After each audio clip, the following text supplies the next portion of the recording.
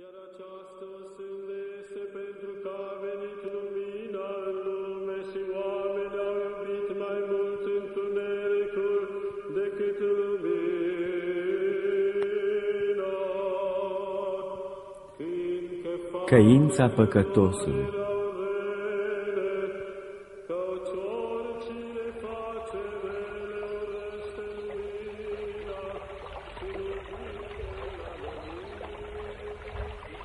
La marginea unui râu, un țăran rău voia cu orice chip să scape de câinele său, deși acesta era un animal bun și recunoscător. Luându-l în brațe, l-a aruncat în apă, crezând că animalul se va neca și astfel va scăpa de el.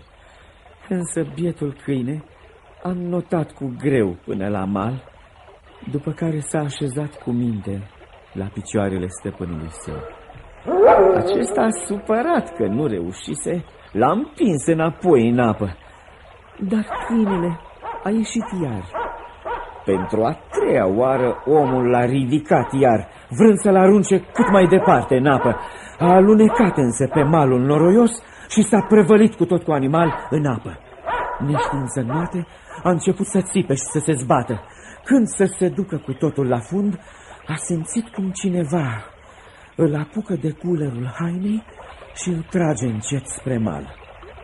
Scos afară mai mult mort decât viu, ud, ud tot și speriat, omul a înțeles că i-a scăpat viața tocmai câinele pe care încercase să-l omoare. Rușinea i-a cuprins sufletul. I-a mulțumit lui Dumnezeu că au scăpat amândoi cu viață după care și-a mângâiat cu recunoștință câinele atât de credincios și au plecat împreună spre sat.